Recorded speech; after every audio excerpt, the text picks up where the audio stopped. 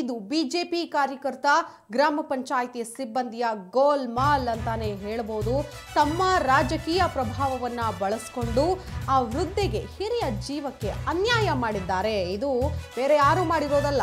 BJP ಕಾರ್ಯಕರ್ತ ಮತ್ತೆ ಗ್ರಾಮ ಪಂಚಾಯಿತಿ ಸಿಬ್ಬಂದಿ ಮಾಡಿರುವಂತಹ ಗೋಲ್ ಮಾಲ್ ಅಂತ ಹೇಳಲಾಗ್ತಾ ಇದೆ. ಮನೆಯೂ ಕಳ್ಕೊಂಡು ಪರಿಹಾರವೂ ಇಲ್ಲದೆ ಆ ವೃದ್ಧೆ ಪರದಾಡ್ತಾ ಇದ್ದಾರೆ.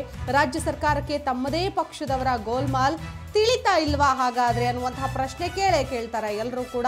ಆ, ವೃದ್ಧೆಗೆ ಸೇರಬೇಕಾದಂತಹ ನೆರೆ ಪರಿಹಾರದ ಹಣವನ್ನ ಬಿಜೆಪಿ ಕಾರ್ಯಕರ್ತ ತನ್ನ ಜೇಬಿಗೆ ಇಳಿಸಿದ್ದಾನಂತೆ. ಕಳೆದ ವರ್ಷ ಭಾರಿ ಮಳೆಗೆ ಮನೆ ಕಳ್ಕೊಂಡಿದ್ರು ಈ ವೃದ್ಧೆ. ಕೆಂಪದೇವಮ್ಮ ಅನ್ನುವಂಥವರು. ಮೈಸೂರು ಜಿಲ್ಲೆ ನಂಜನಗೂಡು ತಾಲೂಕಿನ ಹಾಡಿಯ ಗ್ರಾಮದ ನಿವಾಸಿ ಈ ಕೆಂಪದೇವಮ್ಮ ಅನ್ನುವಂತಹ ವೃದ್ಧೆ. ಪಕ್ಕದ ಮನೆಯಲ್ಲೇ ವಾಸ ಇದ್ದ ಬಿಜೆಪಿ ಕಾರ್ಯಕರ್ತ ಶಂಕರ್ ಕುಟುಂಬ ಈಗ ಈ ವೃದ್ಧೆಗೆ ಸೇರಬೇಕಾದಂತಹ ಪರಿಹಾರ ಹಣವನ್ನ ತಾನೇ ನುಂಗು ಹಾಕಿದ್ದಾನೆ ಅನ್ನುವಂತಹ ಆರೋಪ ಕೇಳಿ ಬರ್ತಾ ಇದೆ. ವೃದ್ಧೆಗೆ ಸೇರಬೇಕಾದ ನೆರೆ ಪರಿಹಾರದ ಹಣವನ್ನ ಈ ಬಿಜೆಪಿಯ ಮುಖಂಡ ತಾನೇ ತನ್ನ ಜೇಬಿಗಿಳಿಸ್ಕೊಂಡಿದ್ದಾನೆ. ಕುಸಿದ ಮನೆಯ ಪರಿಶೀಲನೆಗೆ ಅಧಿಕಾರಿಗಳು ಬಂದಾಗ ಆಸ್ಪತ್ರೆಯಿಲ್ಲದ್ರ ಆಸ್ಪತ್ರೆಯಲ್ಲಿದ್ದರಂತೆ ಈ ಈ ವೃದ್ಧೆ. ಇದೇ ವೇಳೆ ತನ್ನ ತಾಯಿಯನ್ನ ಮನೆ ಮುಂದೆ ನಿಲ್ಲಿಸಿ, ಇವರೇ ನೆರೆ ಪರಿಹಾರನ ಇವರಿಗೆ ಕೊಡಬೇಕು ನೀವು ಅಂತೇಳಿ ರಾಜಕೀಯ ಪ್ರಭಾವವನ್ನು ಬಳಸ್ಕೊಂಡು ತಾನ್ ದುಡ್ಡನ್ನು ನುಂಗಿ ಹಾಕಿದ್ದಾನೆ ಅಂತ ಆರೋಪ ಕೇಳಿ ಬರ್ತಾ ಇದೆ. ನೋಡಿ, ನಿಜಕ್ಕೂ ಎಂತಹ ದುಸ್ಥಿತಿ ಇದು. ಕಳೆದ ನಾಲ್ಕು ತಿಂಗಳಿಂದ ಸರ್ಕಾರಿ ಕಚೇರಿಗೆ ಅಲೆದು ಅಲೆದು ಬಳಲಿ ಬೆಂಡಾಗೋಗಿದ್ದಾರೆ ಈ ವೃದ್ಧೆ. ರೈತ ಸಂಘಟನೆಗಳು ಅಮಾಯಕ ಕೆಂಪದೇವಮ್ಮಳ ನೆರವಿಗೆ ಬಂದಿದ್ದಾರೆ ಈಗ. ಕೆಂಪದೇವಮ್ಮ ಪರವಾಗಿ ತಹಶೀಲ್ದಾರ್ ಭೇಟಿ ಮಾಡಿ ಮಾಡಿದ್ದಾರೆ, ಮನವಿಯನ್ನು ಸಲ್ಲಿಸಿದ್ದಾರೆ ರೈತ ಮುಖಂಡರು. ಬಿಜೆಪಿ ಕಾರ್ಯಕರ್ತನ ವಿರುದ್ಧ ಹಾಗಾದ್ರೆ ಕ್ರಮ ಕೈಗೊಳ್ತಾರಾ ಅಧಿಕಾರಿಗಳು ಅನ್ನೋದು ಈಗ ಇರುವಂತಹ ಪ್ರಶ್ನೆ. ಮನೇನ ಕಳ್ಕೊಂಡಿದ್ದಾರೆ, ಪರಿಹಾರನೂ ಇಲ್ಲದೆ ಆ ವೃದ್ಧೆ ಪರದಾಡುವಂತಹ ಪರಿಸ್ಥಿತಿ ನಿರ್ಮಾಣ ಆಗಿದೆ. ರಾಜ್ಯ ಸರ್ಕಾರಕ್ಕೆ ತಮ್ಮದೇ ಪಕ್ಷದವರ ಗೋಲ್ಮಾಲ್ ತಿಳಿತಾ ಇಲ್ವಾ? ಈ ರೀತಿಯಾಗಿ ತೀರಾ ವಯಸ್ಸಾದವರಿಗೆ ಕಷ್ಟಪಟ್ಟು ಆ ಮನೆ ಬಿದ್ದು ಹೋಗಿದೆ. ಆ ಪರಿಹಾರದ ಹಣವನ್ನ ಸರ್ಕಾರ ಕೊಟ್ಟಿದೆ. ಆದರೆ ಆ ವೃದ್ಧೆಗೆ ಸೇರಬೇಕಾದಂತಹ ಸರ್ಕಾರಿ ಹಣವನ್ನ ತನ್ನ ತಾಯಿಯನ್ನ ನಿಲ್ಲಿಸಿ ಇವರೇ ನೆರೆ ಪರಿಹಾರವನ್ನ ಇವ್ರಿಗೆ ಕೊಡಬೇಕು ನೀವು ಅಂತೇಳಿ ಚೆಕ್ಕನ್ನು ಇಸ್ಕೊಂಡಿದ್ದಾನಂತೆ ಈತ. ಮನೆ ಗೋಡೆ ಬಿದ್ದೋಗದ ಏನಾಯ್ತು ಈಗ? ಏನು ಇಲ್ಲ ಯಾರ ದುಡ್ಡು ತಕೊಬಿಟ್ಟಾರ ನಿಮಗೆ ಕೊಟ್ಟಿಲ್ಲ? ಹ್ಞೂ ನಮ್ಗೆ ಗೊತ್ತಾಗೋದ್ರೆ ತಕೊಬಿಟ್ಟಾರ ತಕ್ಕೊಬಿಟ್ಟವ್ರೆ. ನಿಮಗೆ ಗೊತ್ತೇ ಇಲ್ಲ? ನಿಮ್ಗೆ ಹೇಗೆ ಗೊತ್ತಾಯ್ತು? ಹೀಗಾಗಿ ಯಾರು ಪತ್ತೆ ಮಾಡೋರು ಅಷ್ಟೇ. ಪತ್ತೆ ಮಾಡಿ ಮಾಡಿಕೊಡಿ ಅಂದು ಇವ್ರು ಒಂದು ಸೆಟ್ ಲೀವ್ ಲೀವ್ ಆಯಿತು ತಡವಾಯಿತು. ಮಾಡಿಕೊಡ್ತೀವಿ ಸುಮ್ಮನೆ ಅಂದ್ರೆ ಸುಮ್ಮನೆ ಇದ್ರು. ಅಷ್ಟಕ್ಕೆ ಅವ್ರು ತಗೊಬಿಟ್ಟಾರೆ ಯಾರು ತಕೊಂಡಿರೋರು ಯಾರು ಪಕ್ಕದ ಮನೆಯವ್ರಿ. ನಿಮ್ಗೆ ಸಿಕ್ಕಿಲ್ಲ? ಹ್ಞೂ ನಮ್ಗೆ ಸಿಕ್ಕಿಲ್ಲ. ಮನೆ ಗೋಡೆ ಬಿದ್ದೋಗದ ಏನಾಯ್ತು ಈಗ? ಏನು ಇಲ್ಲ ಯಾರ ದುಡ್ಡು ಅತಿವೃಷ್ಟಿ ಅನಾವೃಷ್ಟಿ ಇದರಲ್ಲಿ ಮಳೆ ಹೋದು. ಸಂಪೂರ್ಣವಾಗಿ ಸಿ- ಸಿಕ್ಕಾಪಟ್ಟ ಮಳೆ ಹೋದು. ನಮ್ಮ ಕೆಂಪಮ್ಮ ಮತ್ತು ಲೇಟ್ ಚನ್ಮಲಪ್ಪ ಅನ್ನೋರ ಮನೆ ಸಂಪೂರ್ಣ ಕುಸ್ತೋಗಿದೆ. ಕುಸ್ತೋಗಿರೋಂಥದ್ದನ್ನ ಪಕ್ಕದ ಮನೆಯವನು ಶಂಕರ ಅನ್ನೋ ವ್ಯಕ್ತಿ ಬಿ ಜೆ ಪಿ ಪಕ್ಷದಿಂದ ಅವನು ಗುಡಿ ರಾಜಕಾರಣಿಯಾಗಿದ್ದು ಆ ವ್ಯಕ್ತಿ ಅವ್ರ ತಾಯಿನ ನಿಲ್ಲಿಸಿ ಒಂದು ಲಕ್ಷ ರೂಪಾಯಿ, ಐದು ಲಕ್ಷ ರೂಪಾಯಿ ಮನೆ ಹಾಕ್ಸ್ಕೊಂಡು ಅದರಲ್ಲಿ ಒಂದು ಲಕ್ಷ ರೂಪಾಯಿ ತೆಗೆದು ಈಗ ತಿನ್ಕೊಂಡಿದ್ದಾರೆ. ತಿಂದಾದ ನಂತರ ಇನ್ನೂ ನಾಲ್ಕು ಲಕ್ಷನ ಕಬಳಿಸಕ್ಕೆ ನೋಡ್ತಾ ಇದ್ದಾರೆ ಇದನ್ನು ನಾವು ನಮ್ಮ ಅವ್ರ ಮನೆ ಮುಂದೆ ನಿಂತು ತೆಗಿಸ್ತಿರಾಗಂತ ಅದನ್ನು ಅಬ್ಸರ್ವ್ ಮಾಡಿ ನಾವು ತಹಸೀಲ್ದಾರ್ಗ ಮತ್ತು ಜಿಲ್ಲಾಧಿಕಾರಿಗಳ್ಗೆ ಮನವಿನ ಸಲ್ಲಿಸಿದ್ದೀವಿ ಆದರೆ ಇನ್ನೂ ಕೂಡ ತಹಸೀಲ್ದಾರರು ಯಾವುದೇ ಕ್ರಮನ ಇನ್ನೂ ಕೈಗೊಂಡಿಲ್ಲ. ನಮ್ಮನ್ನ ಡೈಲಿ ಊರಿಂದ, ಅಡ್ಡೆದಿಂದ ಇಲ್ಲಿಗ ಅಲಿಸ್ತಾ ಇದ್ದಾರೆ. ಈ ಕ್ಯಾಂಪ್ ತಗೊಂಬರ್ದು ಅನ್ಯಾಯ ಆಗಿದೆ. ಕೆಂಪದೇವಮ್ಮ ಅವರ ಸಂಬಂಧಿಕರೊಬ್ಬರು ನಮ್ಮ ದೂರವಾಣಿ ಸಂಪರ್ಕದಲ್ಲಿದ್ದಾರೆ. ಅವ್ರನ್ನ ಮಾತನಾಡ್ಸೋಣ. ನಾಗೇಶ್ ಅಂತ. ನಾಗೇಶ್ ಅವರೇ ನಮಸ್ಕಾರ. ನಮಸ್ಕಾರ ಮೇಡಮ್. ನಾಗೇಶ್ ಅವರೇ ನಮಸ್ಕಾರ. ನಮಸ್ಕಾರ ಕೇಳಿಸ್ತಾ ಇದೆಯಾ? ನನ್ನ ಧ್ವನಿ ಕೇಳಿಸ್ತಾ ಇದೆಯಾ? ಹಾ ಕೇಳಿಸ್ತಾ ಇದೆ ಮೇಡಮ್. ಏನ್ ಏನಾಗಿದೆ ನಾಗೇಶ್ ಅವರೇ? ಕೆಂಪದೇವಮ್ಮ ಅವ್ರನ್ನ ಏನಾಗ್ಬೇಕು ನಿಮಗೆ? ಮೇಡಮ್ ನಮ್ ದೊಡ್ಡಮ್ಮ ಮೇಡಮ್ ಅವರು. ಹ್ಮ್. ಅಲ್ಲ ಮನೆ ಕುಸ್ತು ಹೋಗಿದೆ. ಪಕ್ಕದ ಮನೆಯವರು ದುಡ್ಡು ತಗೊಂಡಿದ್ದಾರೆ.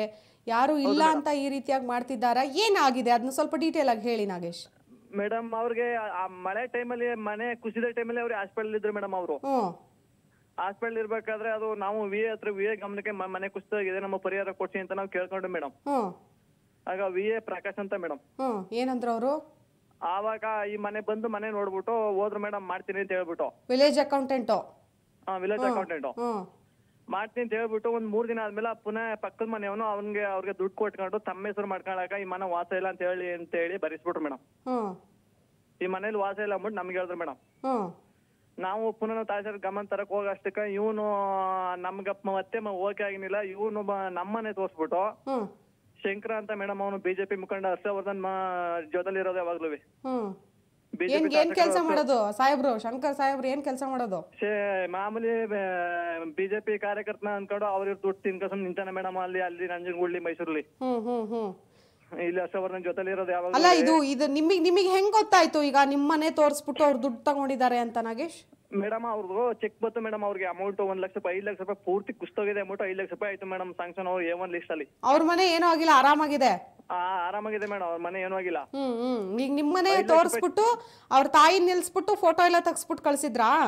ಹಾ ಹೌದು ಮೇಡಮ್. ಅವ್ರ ತಾಯಿ ನಿಲ್ಸ್ಬಿಟ್ಟು ಫೋಟೋ ತೆಗಿಸ್ಕೊಂಡ್ರಿ ಮೇಡಮ್. ಆವಾಗ ಅವ್ರ ಅಣ್ಣ ಇದ್ದಾನೆ ಮೇಡಮ್ ಅವ ಎರಡ್ ಕೆಲಸ ಮಾಡ್ತಾ ಇರೋದು ಡೈರಿ ಸೆಕ್ರೆಟರಿ ಬಿತ್ತು ಎಂ ಆರ್ ಮೀಟರ್ ರೈಡರ್ ಹ್ಮ್. ಎರಡು ಉದ್ಯೋಗ ಮಾಡ್ತಾ ಇದ್ದಾನೆ ಮೇಡಮ್. ಅವನ್ ಬಂದು ಪಂಚಾಯತಿ ಸೆಕ್ರೆಟರಿ ಹತ್ರ ಚೆಕ್ ಇಸ್ಕತಾ ಇದ್ದ. ನಮ್ಮನೆ ಹತ್ರ ಫೋಟೋ ತೆಗಿಸ್ಕೊಂಡು ಇದ್ಯಾಕೆ ಇಲ್ಲಿ ತಗತಾ ಇದ್ದಾನೆ ಅಂದ್ಬಿಟ್ಟು ನಾವು ಪಿ ಡಿ ಹತ್ರ ಕೇಳಕ್ ಹೋದ್ನು. ಹ್ಮ್.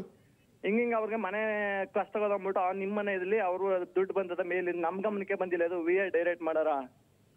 ಅಲ್ರಿ ಈ ವಿ ಹೇಳ ಏನ್ ಹೇಳ್ಬೇಕು ಹಂಗಾರೆ? ನೀವು ಹೋಗ್ ಕೇಳಲಿಲ್ವಾ? ಏನ್ ಏನ್ ಮಾಡ್ತಾ ಇದ್ದೀರಾ? ನೀವು ಹಗಲ್ ದರೋಡೆ ಮಾಡ್ತಿದ್ದೀರಲ್ಲ ಸರ್ಕಾರಿ ಕೆಲಸದಲ್ಲಿ ಇದ್ಕೊಂಡು ಅಂತ ಗಲಾಟೆ ಮಾಡ್ಲಿಲ್ವಾ ನೀವು ಹೋಗಿ?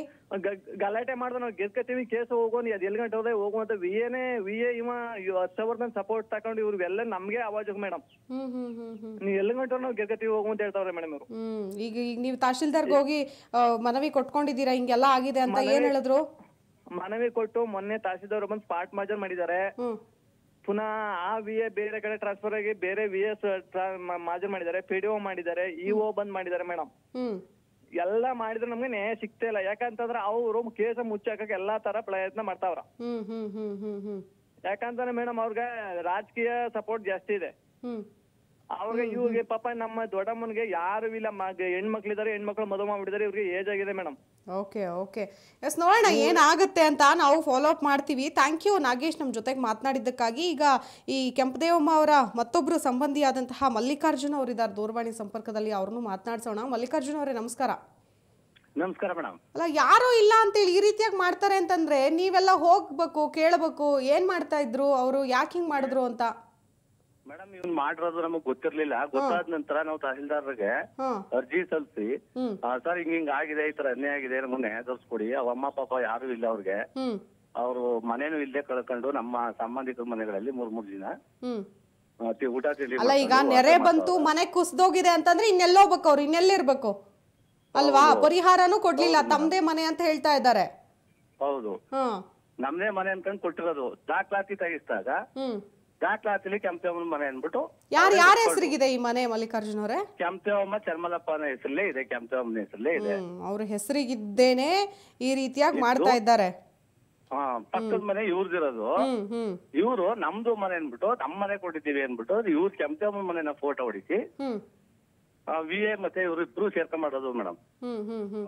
ಅಲ್ರಿ ದಾಖಲೆಗಳಿರೋದಿಲ್ವಾ ದಾಖಲೆಗಳು ಪರಿಶೀಲನೆ ಮಾಡ್ದೇನೆ ನೆರೆ ಪರಿಹಾರ ಕೊಟ್ವಲ್ಲ. ಬೇ ಸೇರ್ಬೇಕಾದವ್ರಿಗೆ ಬಿಟ್ಟು ಬೇರೆ ಇನ್ಯಾರ್ಯಾರಿಗೋ ಗೋಲ್ಮಾಲ್ ಮಾಡ್ಬಿಟ್ಟು ದುಡ್ಡು ಕೊಡ್ತಾರೆ ಅಂತ ಅಂದ್ರೆ ಏನ್ ಹೇಳ್ಬೇಕು ಇವ್ರಿಗೆ ಅಂತ? ಇವ್ರಿಗೆ ಯಾವ ರೀತಿ ಹೇಳ್ಬೇಕು ಅಂತ ಗೊತ್ತಿಲ್ಲ. ಮೇಡಮ್ ಇವನು ರಾಜಕೀಯ ಪುಡಾರಿ ಇವನು. ಇವನು ಹಿಂಗೇನೆ ಸುಮಾರು ಮೋಸ ಮಾಡವನೆ. ಸುಮಾರು ಜನಕ್ಕೆ. ಹ್ಮ್. ಅದೇ ರೀತಿಯಾಗಿ ಇದ್ನು ಮೋಸ ಮಾಡೋನೆ. ಈಗ ಈಗ ಮಲ್ಲಿಕಾರ್ಜುನ್ ಅವರೇ ಕಂಪ್ಲೇಂಟ್ ಕೊಟ್ಟಿದ್ದೀರಾ ನೀವು. ಹೋಗ್ಲಿ ಪೊಲೀಸ್ ಸ್ಟೇಷನ್ಗೆ ಹೋಗಿ ಕಂಪ್ಲೇಂಟ್ ಕೊಟ್ಟಿದ್ದೀರಾ? ಹಿಂಗ್ ಮಾಡ್ತಾ ಇದ್ದಾರೆ ಅಂತ. ಕಂಪ್ಲೇಂಟ್ ಕೊಟ್ಟಾಗ ನೀವು ತಹಸೀಲ್ದಾರ್ ಕೊಟ್ಟಿದ್ದೀರಲ್ಲ? ಅದರಿಂದ ನಾವೇನ್ ಕಂಪ್ಲೇಂಟ್ ಏನ್ ಬೇಕಾಗಿಲ್ಲ ತಹಸೀಲ್ದಾರ್ ಇದನ್ನ ಬಗೆಹರಿಸ್ತಾರ ಅಂದ್ಬಿಟ್ಟು ಹೇಳಿದ್ರು ಮೇಡಮ್ ತಹಸೀಲ್ದಾರ್ ಕೊಟ್ಟು ಎರಡು ತಿಂಗಳಾಗಿದೆ. ಒಟ್ನಲ್ಲಿ ನಿಮಗೆ ಇದೆಲ್ಲ ಬೇಡ. ನಿಮಗೆ ಆ. ಕೆಂಪದೇವಮ್ಮ ಅವ್ರಿಗೆ ಬರ್ಬೇಕಾದಂತಹ ಪರಿಹಾರದ ದುಡ್ಡು ಬಂದ್ರೆ ಸಾಕು ಅಲ್ವಾ? ಹೌದು ಮೇಡಮ್ ತಹಶೀಲ್ದಾರ್ಗೆ ಹೋಗಿ ಮನವಿ ಕೊಟ್ಟಿದ್ರಲ್ಲ ಏನ್ ಹೇಳ್ತಾ ಇದಾರೆ ಅವರು? ತಹಶೀಲ್ದಾರ್ ಅವರು ನಾನು ಮ- ಮ- ಕೊಡ್ತೀನಪ್ಪ ವರದಿ ಕೊಡ್ತೀನಿ ಕೊಡ್ತೀನಿ ಅಂತ ಇದಾರೆ. ಇನ್ನೂ ಏನೂ ಕೊಟ್ಟಿಲ್ಲ ಮೇಡಮ್ ಹ್ಮ್ ಹ್ಮ್ ನಾನು ಮಾಡ್ತೀನಿ. ಕ್ರಮ ಕೈಗೊಳ್ತೀನಿ ಅಂತ ಹೇಳ್ತಿದಾರೆ. ಇನ್ನೂ ಕ್ರಮ ಕೈಗೊಂಡಿಲ್ಲ. ಹ್ಮ್. ಆ, ಆಮೇಲೆ ಅವ್ರಿಗೆ ಕೆಂಪಮ್ಮನ್ಗೆ ನಮ್ಗೆ ಇದ್ ಮನೆ ಕೊಟ್ಟು ಅವ್ರಿಗೆ ಪರಿಹಾರ ಕೊಡ್ತಿ.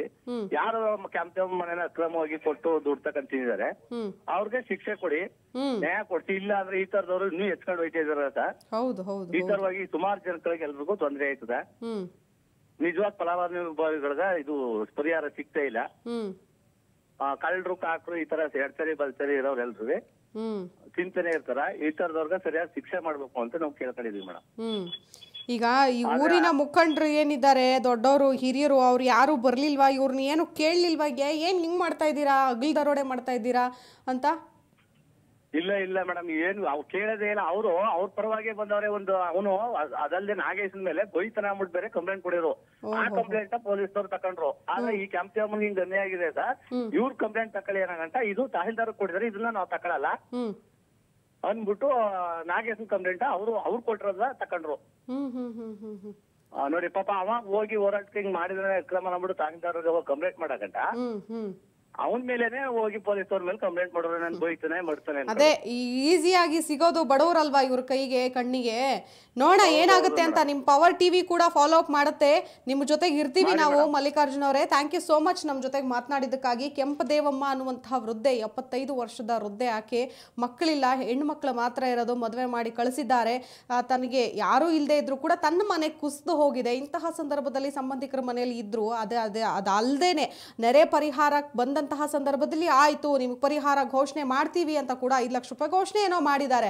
ಆದರೆ ಈ ಕೆಂಪದೇವಮ್ಮ ಆಸ್ಪತ್ರೆಗೆ ಅಡ್ಮಿಟ್ ಆದಂತಹ ಸಂದರ್ಭದಲ್ಲಿ ಈ ಮನೆ ತಂದು ಅಂತ ಹೇಳಿ ಪಕ್ಕದ ಮನೆಯಲ್ಲಿ ಅಂತಹ ಶಂಕರ್ ಅನ್ನುವಂತಹ ರಾಜಕೀಯ ಬಿ ಜೆ ಪಿ ರಾಜಕೀಯ ಮುಖಂಡ ಅಂತ ಈತ ವಿ ಎ ಅನ್ನ ತನ್ನ ಒಂದು ಒಂದು ತನ್ನ ತನ್ ತನ್ನ ಪರವಾಗಿನೇ ಮಾಡಿಕೊಂಡು ಆತನಿಗೂ ಲಂಚ ಕೊಟ್ಟು ತನ್ನ ಮನೆ ಇದು ಅಂತ ಹೇಳ್ಬಿಟ್ಟು ಫೋಟೋ ತೆಗೆಸ್ಕೊಂಡು ತಾನೇ ಈಗಾಗಲೇ ಪರಿಹಾರದ ದುಡ್ಡು ಕೂಡ ಗುಳು ಮನ್ಸಿದ್ದಾನೆ ಒಂದು ಲಕ್ಷ ರೂಪಾಯಿ ಬಂದಿದೆಯಂತೆ, ಇನ್ನೂ ನಾಲ್ಕು ಲಕ್ಷ ರೂಪಾಯಿಗೆ ಅರ್ಜಿ ಹಾಕಿದ್ದಾರಂತೆ. ನಿಜಕ್ಕೂ ಹಗಲು ದರೋಡೆ ಮಾಡ್ತಾ ಇದ್ದಾರೆ ಸರ್ಕಾರಿಯ ಅಧಿಕಾರಿಗಳು ಮತ್ತು ಇಂಥ ರಾಜಕೀಯ ಮುಖಂಡರು. ಸರ್ಕಾರದ ದುಡ್ಡು ಬಡವರಿಗೆ ಸೇರಬೇಕು, ನೆರೆ ಪರಿಹಾರ ಅನ್ನುವಂಥ ನಿಟ್ಟಿನಲ್ಲಿ ಅದು ಸೇರಬೇಕಾದವ್ರನ್ನ ಬಿಟ್ಟು ಇನ್ಯಾರ್ದೋ ಪಾಲಾಗ್ತಾ ಇರೋದು ನಿಜಕ್ಕೂ ವಿಪರ್ಯಾಸದ ಸಂಗತಿ. ಈಗ ತಹಶೀಲ್ದಾರ್ ಸಾಹೇಬರು ಏನು ಮಾಡ್ತಾರೆ ಅನ್ನೋದನ್ನು ಕಾದ್ ನೋಡ್ಬೇಕಾಗತ್ತೆ